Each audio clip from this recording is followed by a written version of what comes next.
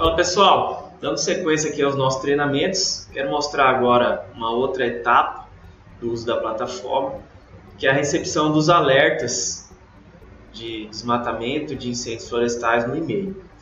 Eu separei aqui alguns exemplos, procurei pegar o período onde a maior incidência de incêndios e desmatamento, que é o período seco, que no Mato Grosso está entre os meses aí de agosto e setembro.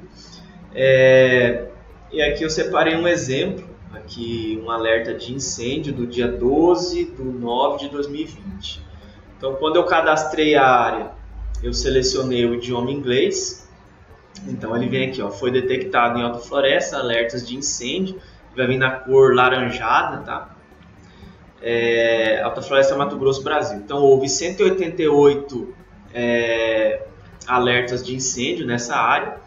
Aí ele vem falando aqui, ó, houve 188 alertas VIRS, que é o, o programa de, que detecta esses, esses incêndios florestais, reportado para a semana de 5 de setembro, ou seja, de 5 de setembro a 12 de setembro de 2020.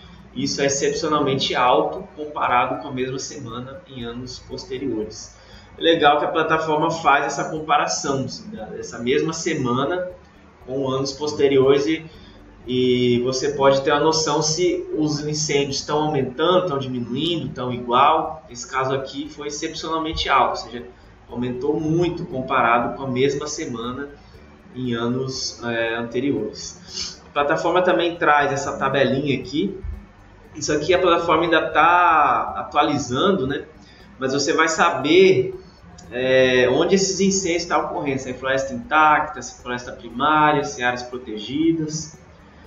E depois tem a opção de você fazer um download da tabela contendo a localização de todos esses, esses alertas no formato .csv. A gente vai utilizar essa informação posteriormente na identificação de, dos possíveis infratores, né? A gente vai verificar onde essas, essas, esses alertas estão caindo, se está caindo em área que foi autorizada pela SEMA, se a área não foi autorizada, se está caindo imóvel cadastrado no CAR, imóvel não cadastrado no CAR, a gente vai fazer isso usando o Google Earth.